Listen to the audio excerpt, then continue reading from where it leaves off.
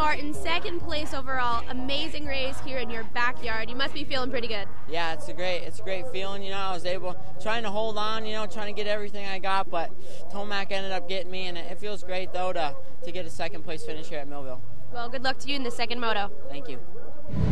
Yo, check it. This is Millville the musical, y'all.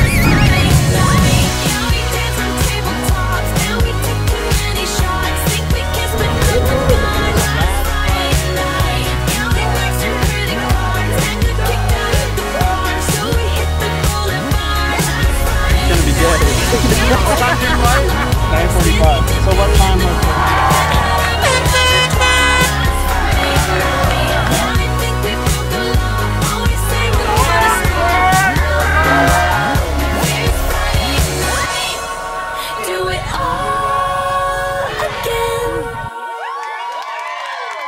This kid loves to run over little kids with his golf cart.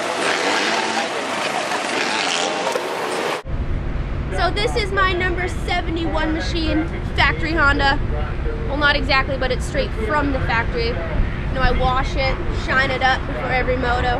But it's gonna hopefully get me a win today, so let's hope so.